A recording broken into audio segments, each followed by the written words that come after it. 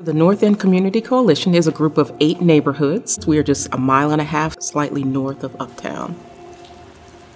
Our whole purpose is to amplify the voices of the residents here in the community so that we could all come together and have one voice, one unified voice, so that we can stand stronger by creating more people to provide that voice.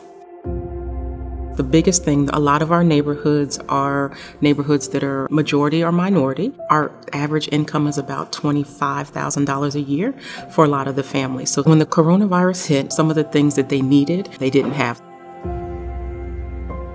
Prior to that, our programming was all in person programming. What we realized is that we have residents who don't have internet access. So we're like, if you don't have internet access and we wanted to pivot and provide our programs and services online, we can't do that if we don't have a way to connect with the residents. They came out with the COVID 19 grants, and we were like, oh, that's where we're going to get the money to do this. So, wrote a grant, submitted it, and they had a really quick turnaround, which was great, and that's what we did.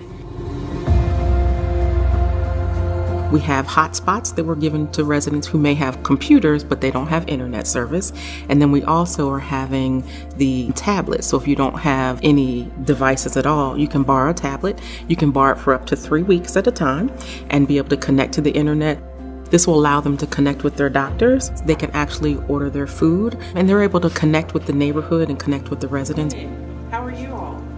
This has just been an awesome partnership. They really have value and they help out the community. They're helping the grassroots. You always hear about funders who say, oh, and they help the big people, but they're actually helping the people right here down on the ground who know what's going on.